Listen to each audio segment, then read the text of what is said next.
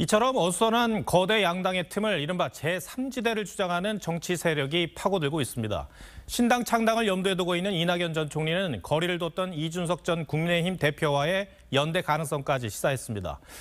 반면 이준석 전 대표는 여전히 여당 내 움직임에 관심을 두는 모습인데 이들의 움직임은 최원국 기자가 취재했습니다.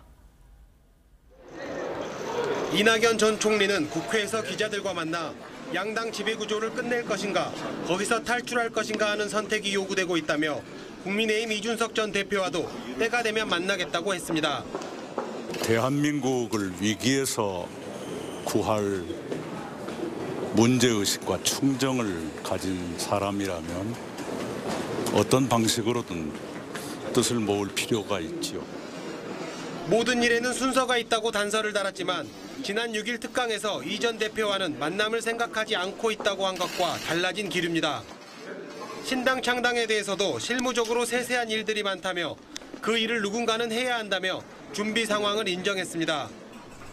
지난달 말 이 전 총리와 만났던 금태섭 전 의원은 정의당 류호정 의원과 창당을 선언했습니다. 다양한 생각과 주장을 가진 분들이 모두 함께 할 수 있는 그런 정당을 만들기 위해서 노력하고 있습니다. 제3지대에서 활동이 참 활발하고 또 변화가 일어나는 시기입니다. 이런 상황에서 이준석 전 대표는 이전 총리를 만날 준비가 돼 있다면서도 여전히 여당 내 움직임에 관심을 보이는 모습입니다. 이 전 대표는 김건희 여사에 대한 특검법 처리 때 이탈표를 막기 위해 대통령이 당 지도부의 공천 관리 출범을 미루도록 당부한 것처럼 보도가 이어지고 있다고 주장했는데 국민의힘은 사실과 다른 주장이라며 공관위는 예정대로 이달 중순 출범할 예정이라고 반박했습니다. TV조선 최원국입니다.